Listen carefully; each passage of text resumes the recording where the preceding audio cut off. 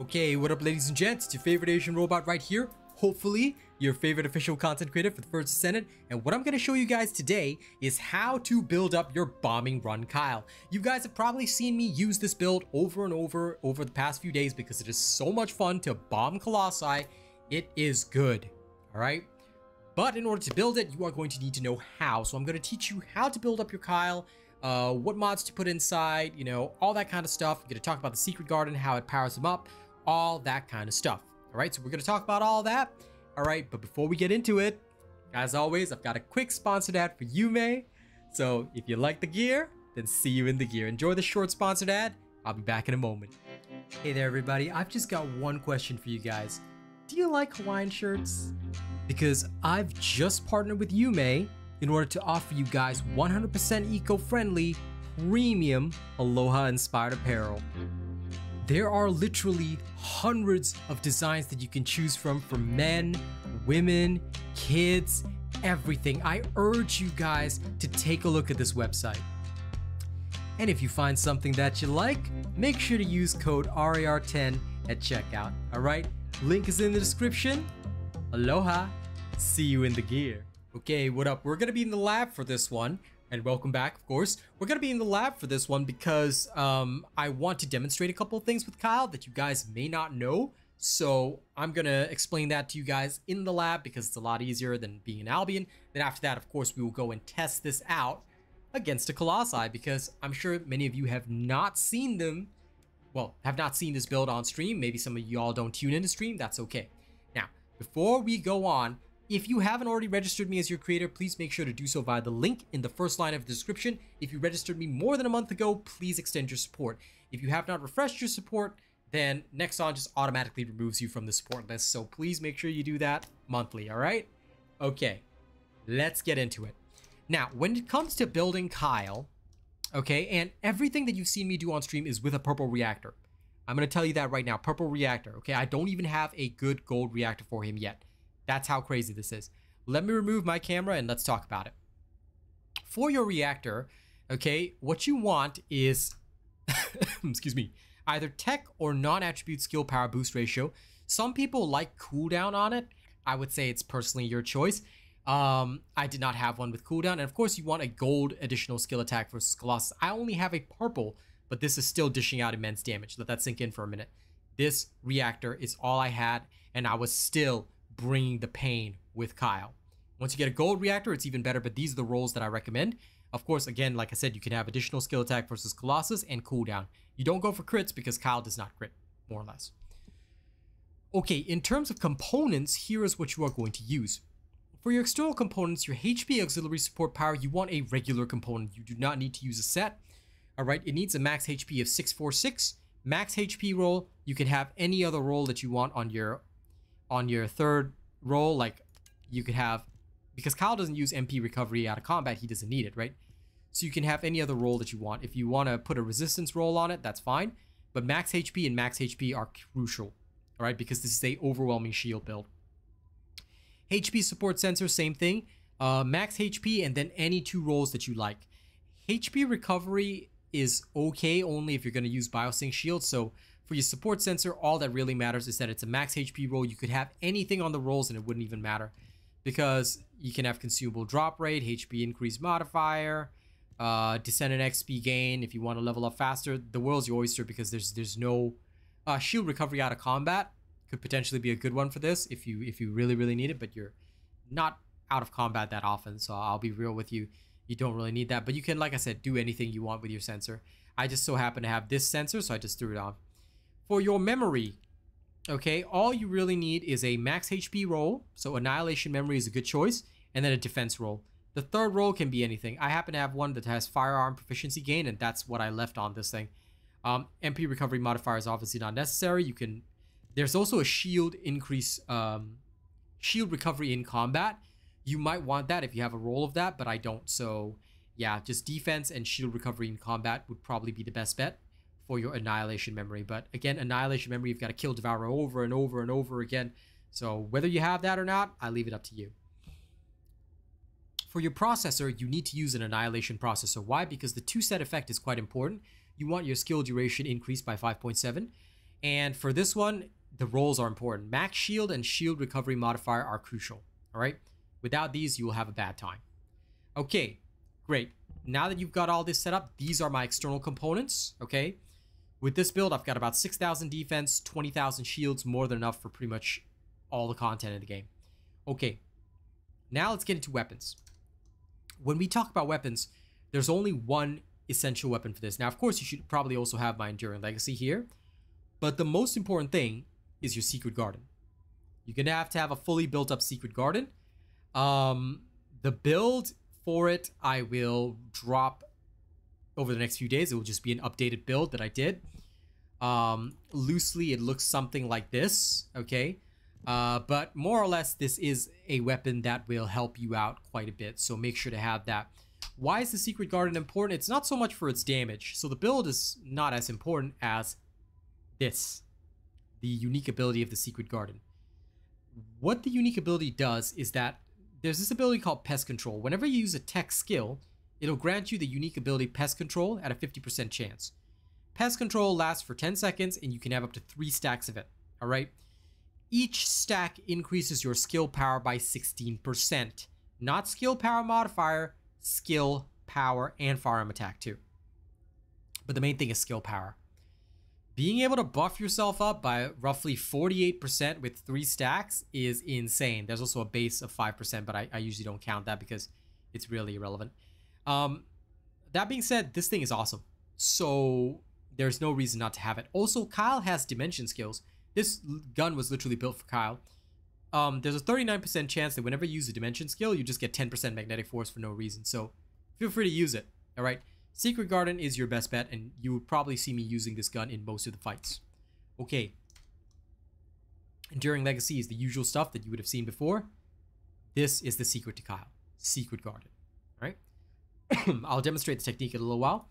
Now, for the modules, this is what I'm using for my bombing run. I called it Eagle 1 right up there. Going from left to right, um, superconductive bombing is your transcendent mod. Okay, you're going to need that to actually bomb your enemies. You don't have that, you're not going to be bombing anybody. All right, so take note of that. Mid-air maneuvering uh, is your sub attack. And of course, please make sure that you have catalyzed this slot. By catalyzing this slot, you go from 10 to plus 15 which is very important to getting your maximum module capacity. Next, overwhelming shield, increase HP, increase shield, stim accelerant gives you the best bang for your buck. Okay? You can test out the combinations of stuff, but this, with a HP build, gives you the most amount of shields. These four are your survival. Do not skimp. Alright? More shields is good because the more shields that you have, the more magnetic force you can build up, which means you can maintain your bombing state for longer all right, and for the headbutt build, which is a completely separate matter, you having more shields means more magnetic force, which means more bonus damage. For the bombing run, it's not as important because basically for the bombing run, it's just the more magnetic force you use, the longer you can bomb for. That's it. It's based on duration and the amount of magnetic force you have. Cool? Cool. Okay. Now, power increase is important because you're going to pair it with non-attribute amplification. Why power increase and non-attribute amplification? Because having these two separate modifiers, skill power and non-attribute skill power, creates two different multipliers here. Base skill power boost and non-attribute skill power boost. Tech skill power boost is from the reactor, so you want to have at least three multipliers. All right, this is why this is crucial. The more multipliers you have, the better. Okay? All right, so that is quite important, and this is how you will structure the build. Now, following on from that, okay, what you need is skill extension and skill expansion as your utility. The bombs have a base radius of only 3 meters. So with skill expansion, you can increase that from 3 meters to 5.8 meters, which is more than enough to properly bomb your targets. Some people say they don't need this. Like Track is so experienced with this that he doesn't need it. I do because I am very bad at aiming the bombs. Okay, so not having the bombs of the appropriate size will probably hamper your bombing. Adjust according to what you see fit. Skill extension extends the duration of this. I tried between this and dangerous ambush. I still prefer skill extension because it allows me to bomb for longer. All right. If you want, you can insert dangerous ambush here. All right. I catalyzed this slot multiple times just to fit it all in and to figure it out. And then, of course, Nimble Fingers and MP Conversion are for cooldowns. This will bring your bombing down to 22 seconds, and that's more than enough for most fights. Okay. Um, The only other thing that I'll mention is that some people use the uh, focus on non-attribute instead of power increase. This will drastically, this will lower your cooldown from this one to about 19 seconds, but you're taking a big hit to your damage, so you probably don't want to do that. Now with this full build, all right, with this Eagle 1 build, um, and if you guys want the mobbing build, I will happily show it to you, but this is the anti-Colossi build. With this full build, what you need to understand is this. How you will build up your magnetic power is by charging three times at the start, and then if you hold your second skill, you see your magnetic power just going up. It consumes your shields, but increases your magnetic force, right? You press your third skill to recover your power, all this with Secret Garden in hand, and you can see the pest control buff slowly going up. Just like that, you will basically... Now, if you're unlucky with the pest control, it'll fade before you bomb the bosses, but just like that, you've got maxed out magnetic force. Alright, what you also need to understand and why I'm doing it in this training room is with maxed out magnetic force, alright, you need to know how long you can fly for. Watch how long you can fly for while bombing, alright? Once you get slightly past the halfway mark, yeah, about 75% of your magnetic force will be consumed and then your bombing run ends. You need to hit the target. You need to fly down and hit the target before your bombing run ends. So be aware of that, alright? This is because the skill has extra damage. All right, the bomb damage is separate from the final hit. If you look there, when Kyle actually hits the enemy, the collision has a separate skill modifier of 1800. The bombs themselves have a skill power modifier of 835 each. All right, so that is the difference. And um, that is what you have to take into account when you're using this build. You're also immune to knockdown and knockback, so you don't have to worry about that, but don't collide with anything, okay? So that basically explains the Kyle build. All right, you now understand the modules. You now understand how he works.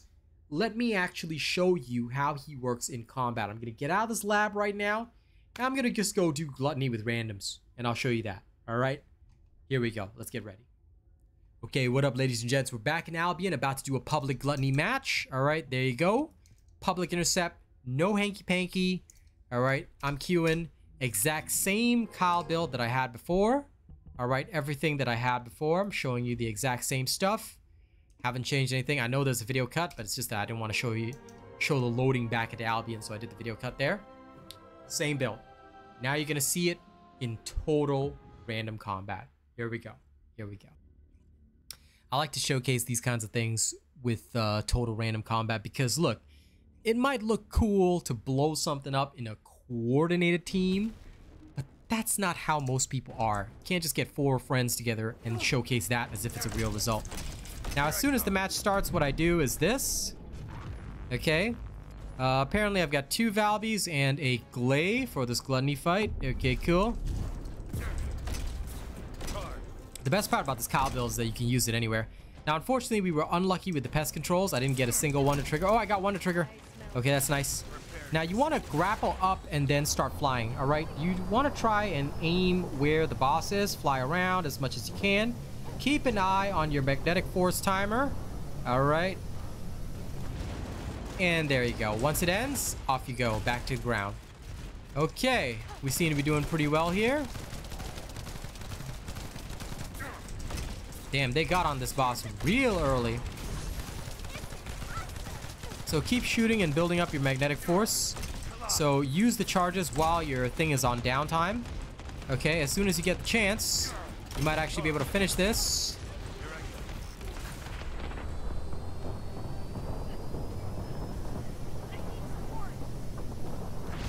Okay, darn, I hit it. Darn, it just needed one little bit. Ah. If he hadn't stretched up and collided, that would have been fine. I got you. I got you. You're okay. Damn, we almost one phase that.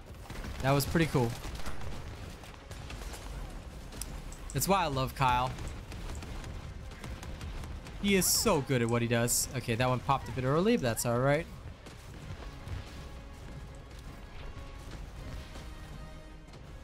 Just gotta wait for a nice purple opportunity.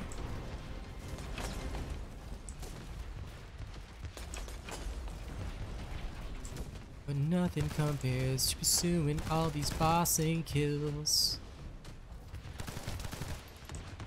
Okay, pop them purple pills. Oh, no.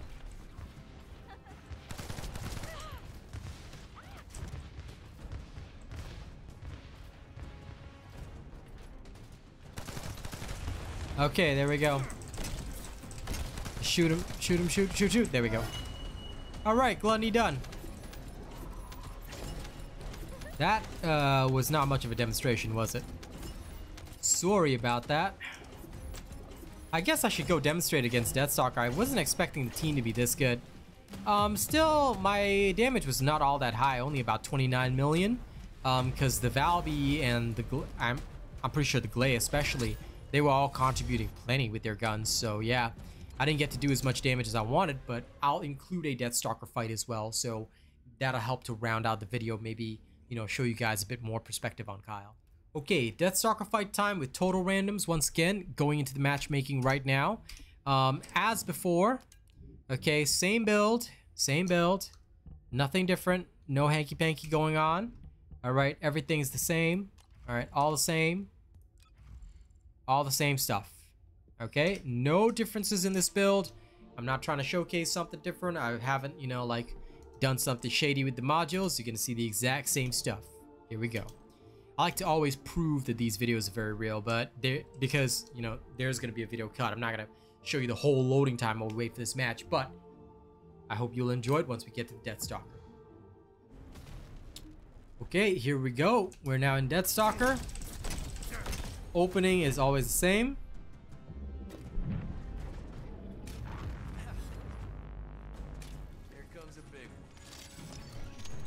You don't have to keep it on all the way, but what you probably want to do is something like this. All right, one, two, and three. Okay, got lucky with one pest control. Go up as high as possible, know where the target is. Now you might have to duck and weave over obstacles a little bit, but do the best of your abilities, try and bomb close to the target and then crash into it near the end. All right, that's what you do. Now, while you're backing up, while you're backing up, as long as you've got three stacks of this, you just want to charge randomly. Not only does it increase your defenses, but it also gives you magnetic force. This is important. And the pest control buffs, if you get it, that's a lot of extra damage. So you kind of want that. All right, use your uh, use your third skill as often as possible because that'll help you pretty much restore your shields. So there's no reason not to have that.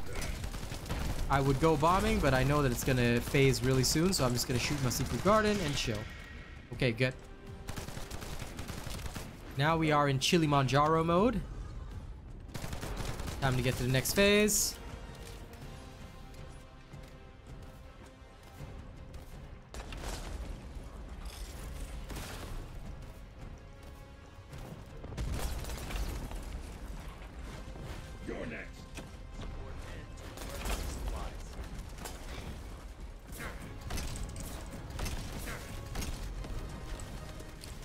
Okay, I try to maintain my stacks as much as I possibly can. Sometimes you get unlucky.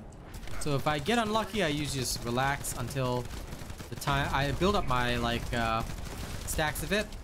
All right, and I go all in at once. Unfortunately, did not get a single pest control there, but that's all right. I need to know where the Deathstalker is, but basically once I know their position, I'll just start bombing around. Or as I like to say, pigeon bombing. Unfortunately, we had to hit it there. There you go. Now he gets three free hits from me. Shoot him as much as you possibly can while he's down.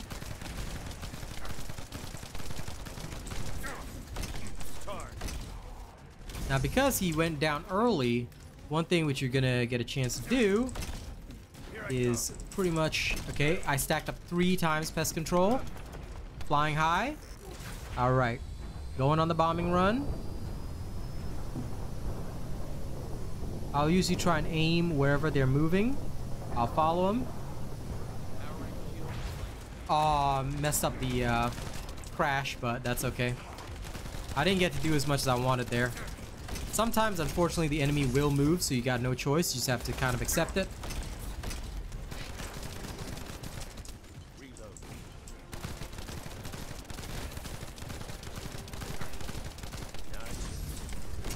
But if the enemy is moving around, what you can do is, just like I'm doing right now, once again, take advantage of it. Just go bomb them. You know, while they're up in the air. Okay, unfortunately that one ended early because of the position of Deathstalker. That's okay. That means I get some extra free shooting time. Make sure to always maintain your shields with your third skill. Don't hesitate. Because, uh, oh dear. Actually ran out of Secret Garden ammo. Gonna have to shoot for a while. Bit of a shame, but this will do. Change back to your Secret Garden before you go off and bomb. Alright? It's quite crucial because if you don't do that, you'll have a bad time.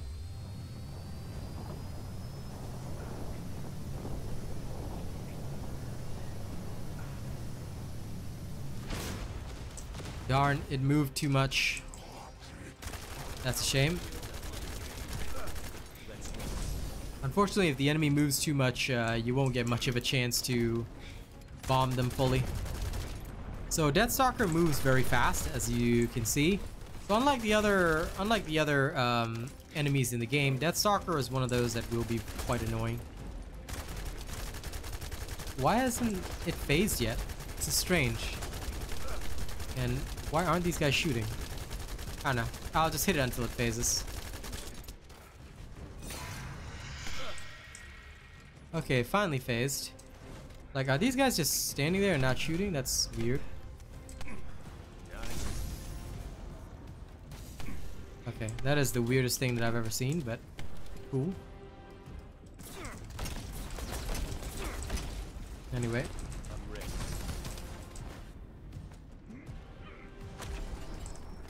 I'm extremely confused because if it was me, I would have blasted it with every bit of ammo that I ever had. Okay.